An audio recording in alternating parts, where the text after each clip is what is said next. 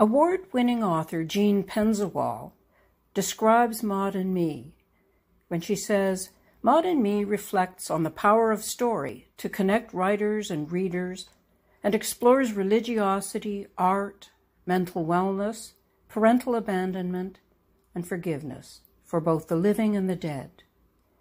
Marianne has drawn on her deep connection to northwestern Ontario to render the setting for this sensitive and thoughtful story.